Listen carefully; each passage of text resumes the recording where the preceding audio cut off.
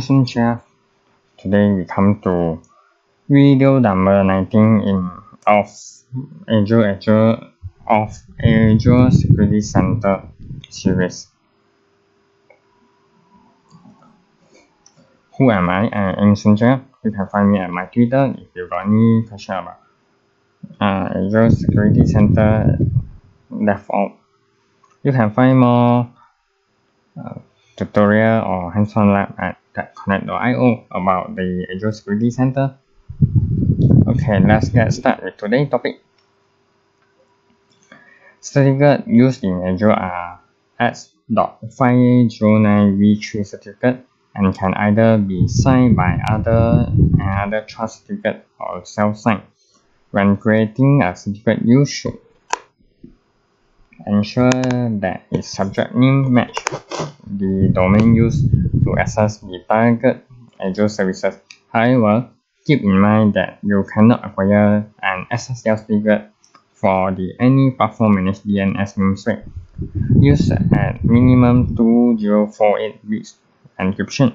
To create self-signed certificate in Windows, use the new self-signed certificate CMD which replaces the depreciated makecert.exe utility. On Windows, you can use SSH keygen. A common challenge when building cloud application is how to manage the credential in your code for authenticating to cloud service. Keeping the credential secure is an important task. Ideally, the credentials never appear on durable workstation are not checked into source control. Azure Key Vault provide a way to securely store credentials, secret, and other keys. But your code has to authenticate the, to Key Vault to retrieve them. The managed identity for Azure resources features in Azure AD solve this problem. These features provide Azure services with and automatically manage identity in Azure AD. You can use the identity to authenticate to any service that support Azure AD authentication, including Key Vault without any credential in your code. A managed identity from Azure Active Directory allow you allow your app to easily access another Azure AD protect resources such as Azure Key Vault. The identity is managed by the Azure platform and does not require you require you to provision or rotate any secret. Your application can be granted two types of identity. A system assigned identity is tied to your application and is de deleted if you if your app is deleted. An app can only have one system assigned identity. System assigned identity support is generally available for Windows app. A user-assigned identity is a standalone Azure resources that can be assigned to your app. An app have, uh, have multiple user-assigned identity. User-assigned identity support is in preview for all app type.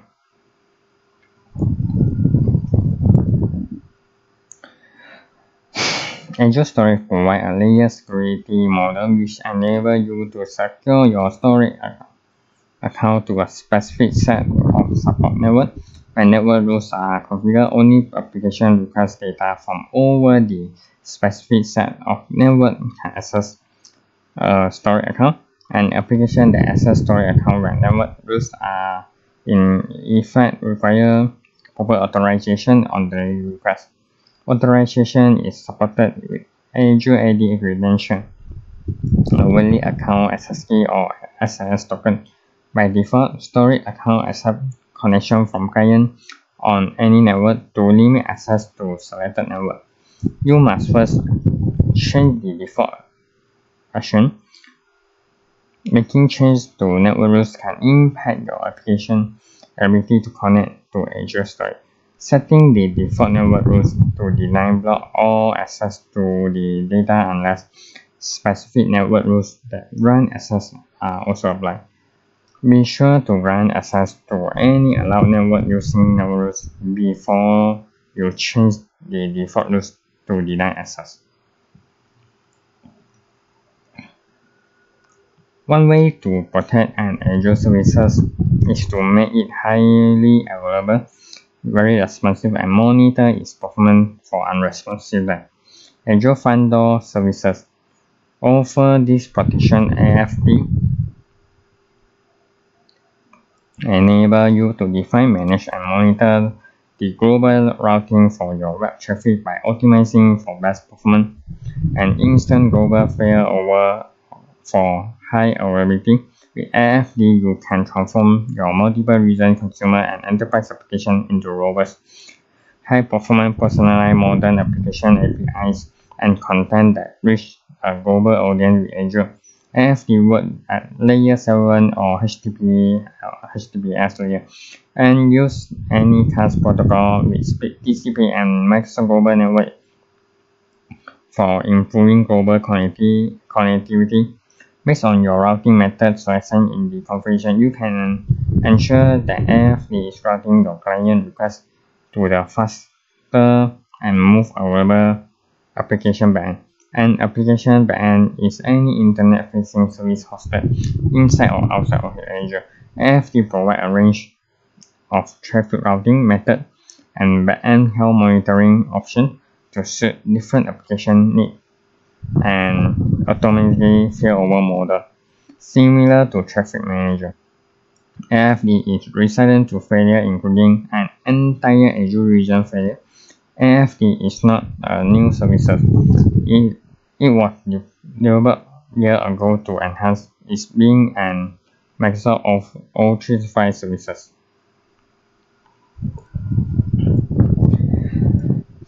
ASG Application Security Group enable you to configure network security as a natural extension of an application structure. You then can group VM and define network security policy based on uh, based on those. You also can reuse your security policy as here without manual maintenance of explicit IP address. The platform manages the complexity of explicit IP address and multiple rules set, allowing you to focus on your base business logic. Consider the illustration. In the illustration, NIC1 and NIC2 are members of the ASG Web ASG. NIC3 is a member of the S ASG Logic ASG. NIC4 is a member of ASGDB ASG.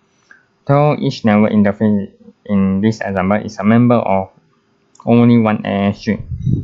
A network interface can be a member of multiple ASG. Up to Azure limit, none of the network interfaces have an established network security group.